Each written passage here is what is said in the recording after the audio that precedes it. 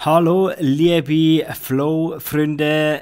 Ich grüße dich auch aus Deutschland und Österreich. Warum ich dieses Video auf Hochdeutsch aufnehme, ihr habt mir ganz viele E-Mails auch aus Deutschland und Österreich geschrieben auf das letzte Video mit Marco Riemer. Und äh, ja, ich wollte mich einfach bei allen bedanken für alle Kommentare, alle Feedbacks per E-Mail oder unter dem Video und alle Likes und alle neuen Abonnentinnen und Abonnenten.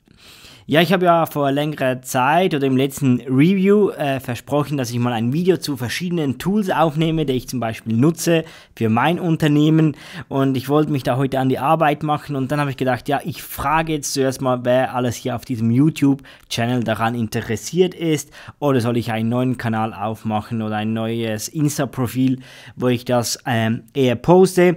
Soll ich das äh, auf Schweizerdeutsch machen? Also einfach für unsere Community, äh, wo Schweizerdeutsch versteht versteht oder auch gleich auf Hochdeutsch für alle Kolleginnen und Kollegen, die eben nicht so gut Schweizerdeutsch verstehen. Aber keine Angst, der Podcast geht natürlich weiter.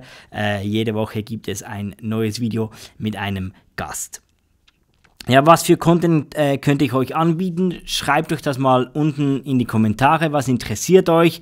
Sind es äh, eher Themen zum Business oder zum Flow? Wie kriege ich meine Flow oder finde ich meine Werte? Was auch immer. Haut das mal rein in die Kommentare. Ich habe mir mal überlegt, man könnte mal was über YouTube machen, wie das so funktioniert.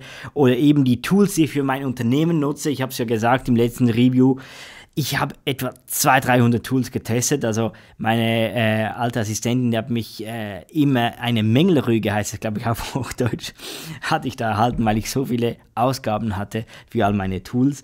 Ähm, ja, wie mache ich einen Podcast, könnten wir machen äh, und so weiter und so fort. Ja, bevor ich da jetzt also die ganze Liste notiere und dann ein paar Videos produziere, schreib da mal rein, was interessiert dich besonders, welche Themen, äh, wenn es Tools sind, welche Tools, soll ich das auf Schweizdeutsch oder Hochdeutsch machen und schreib doch auch mal, wer du so bist und was du so im Leben machst, was deine Ziele sind und äh, ja, warum du hier bist. Ich freue mich auf dein Feedback und sage bis bald. Tschüss.